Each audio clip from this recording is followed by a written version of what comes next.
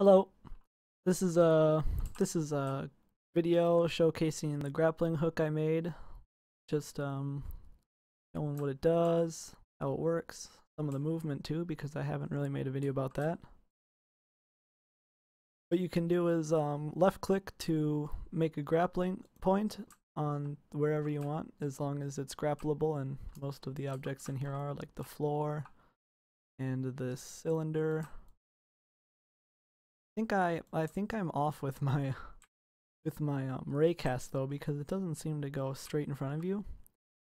But when you make a grappling hook point, it makes sure that you can't go farther than where you were when you made the grappling point.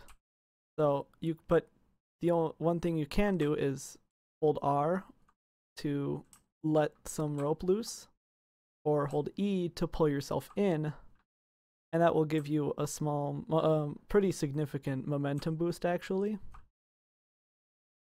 So this can be used to do some fun little things like, you know, you can climb a ceiling, can swing around, kind of like Spider-Man, I guess.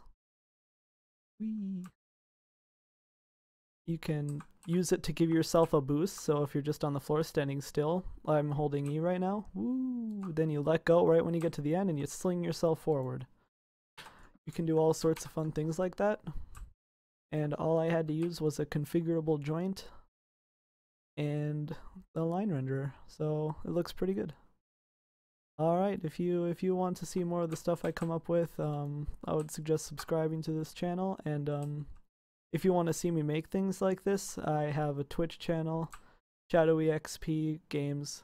I'll have a link in the description. So yeah, yeah, that's my grappling hook. Around. Alright, this is too fun. I'm gonna be making something with this actually. I'm not just gonna I'm not just gonna swing around like this all the time. Alright, goodbye.